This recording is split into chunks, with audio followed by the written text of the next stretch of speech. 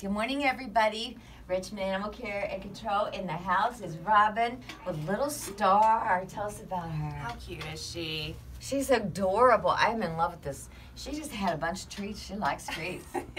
so yeah, so she's around seven months old. She's she's still a baby. We're guessing like I don't know, border collie, hound mix.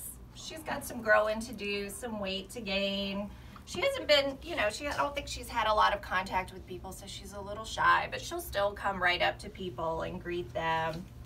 Yeah, and kiss them. I kissed a dog yeah. and I liked it. and we'd love to see her go home with another dog, an outgoing dog that uh, can be a companion for her and just bring her out of her shell. She gets along great. So, um, you know, if you have another dog at home that's been looking for a buddy, come check out Little Star. She'd be a nice little addition to any home. And this weekend for the veterans military. Yeah, so in honor of Veterans Day this weekend, on Saturday and Sunday, we are off offering fee waived adoptions if you're active or retired military. So just bring in your ID.